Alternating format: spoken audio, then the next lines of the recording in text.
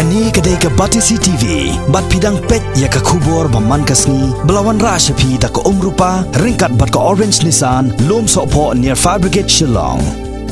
New Nissan Kicks. Bookings open now.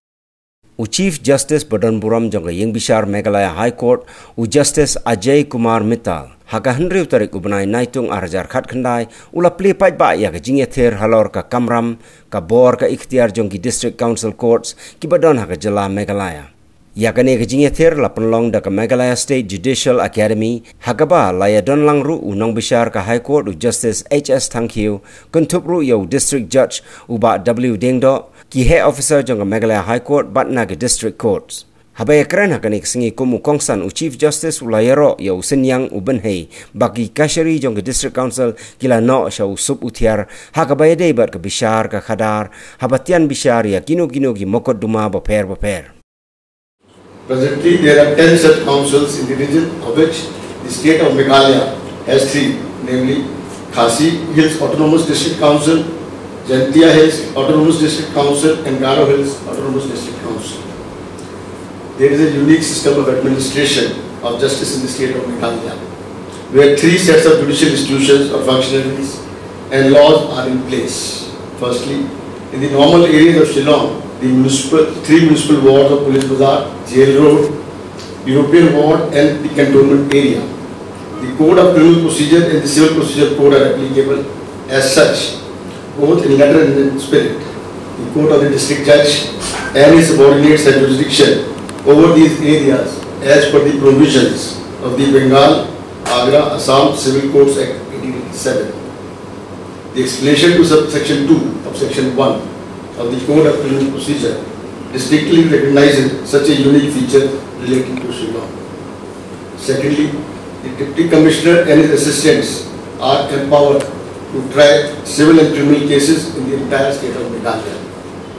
Barring the normal areas of Shillong, under the provisions of the rules for the administration of justice and police in the Khasi and Jaintia Hills district, 1937, the rules for the administration of justice and police in Garo Hills district 1937 and the Khasi Symbions Administration of Justice Order 1950.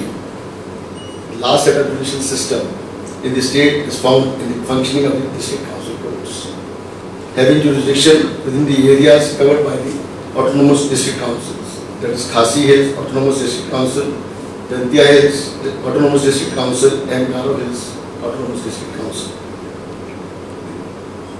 They are duly constituted under the provisions of the sixth schedule to the Constitution of India. These district council courts are constituted under the United Khasi Jaintia Hills Autonomous District within brackets Administration of Justice bracket close rules 1953. For the Khasi Hills District, the Jowai Autonomous District Administration Act 1967 and the Jaintia Hills District and the Garo Hills Autonomous District Administration of Justice Rules 1953 for the Garo Hills District. Significant it is to mention that in the second and third sets of judicial system, the strict letters of laws of procedure do not apply, but the concerned courts are governed and are functioning with the spirit of such rules and procedure. Succinctly put, the entire state of Meghalaya, save and except the cantonment area and the normal areas, including Shillong municipal areas, essentially answers to the description of tribal areas within the meaning of the Constitution of India.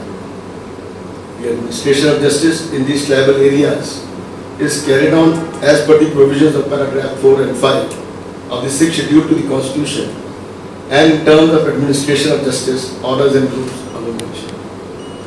Today's seminar has been divided into three technical sessions on the topics the sixth schedule, its historical background and the implication of the sixth schedule for the tribes of Meghalaya. Second, important decisions of the Supreme Court of India relating to the district councils in Meghalaya and the powers and functions of district council courts where various resource persons would be deliberating and enlightening the gathering present here. The seminar also includes interactive session where any doubts or queries in the mind of the audience present would be clear. Like I'll just like to share, was in one month's time, few judgments like the other day, the judgment of the Supreme Court was cited where it said that so much district council courts, though of course it is for all tribal But in case there are two tribals of this, uh, different areas, like one is from say this Khasi tribal, the other is from say Jaintia tribal. So it will not be tried by a, the, neither the Khasi, this uh, the district court council at uh, Shillong would have the jurisdiction, nor the district court council at Mumbai would have the jurisdiction. So again, those type of things also would have been now by way of law enunciated by the Supreme Court, probably has, has to now go to the civil court only, or till the time that judgment is relooked by the Supreme Court itself. So there will be various decisions, etc. So even I, while sitting here, you would also be learning, like any other person, regarding this. Though of course, I have just started getting brief idea because against the order of the district council courts, I understand this is only the jurisdiction under Article 2 to 6 of the Constitution of India, which is there.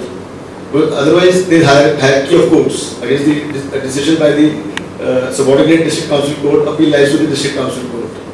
So I'm just, I am also getting uh, idea about the various, how the, these are constituted. Though I have not had the occasion so far, but I'll be visiting all these district council courts at all the three places and to see, and get first-hand information regarding and the, see the functioning of these district council courts as well.